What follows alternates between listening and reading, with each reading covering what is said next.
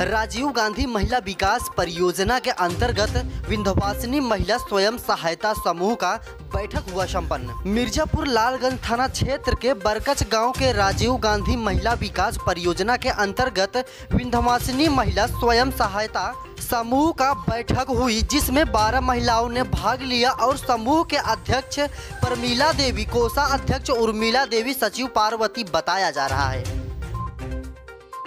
News से भूप नारायण मौर्य।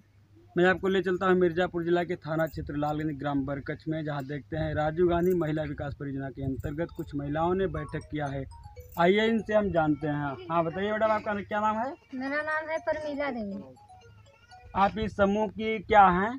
मैं अध्यक्ष हूँ। अध्यक्ष हुई इस समूह को जो चला रही हैं इस समूह से क्या करना चाहती हैं आप? यह समूह से करने हैं कि समूह चलाए हैं। बारह महीना महिला को ले आए हैं।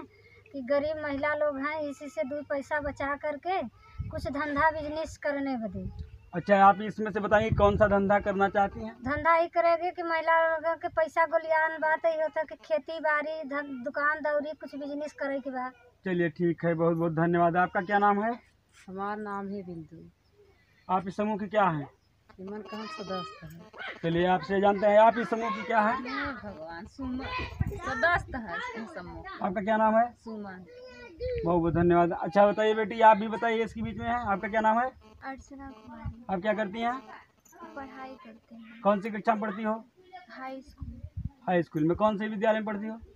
ब्राह्मण से देवरहमा बाबा इंटरमीडियम कॉलेज। बहुत बहुत धन्यवाद। आइए इनसे जानते हैं। आप बताइए आप समूह के बारे में कुछ कहना चाहती हैं? अरे आप समूह की क्या हैं? मैं समूह को मैं कोषाध्यक्ष हूँ। आप अपने समूह को चलाकर बहुत आगे ले जाना चाहती है? समूह के माध्यम से क्या करना चाहती हैं? अरे समूह चलाना चाहती हो कि महिला जुटा के कि कुछ धंधा दुकान दौरी विकास से आगे बढ़ाना चाहती हैं।